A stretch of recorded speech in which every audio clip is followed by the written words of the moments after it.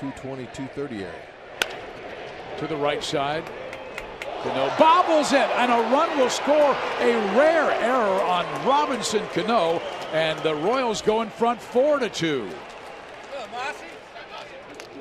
Cano, just his fourth error on the season. And when you're out there playing in, in, in shallow right field and you're taking ground balls off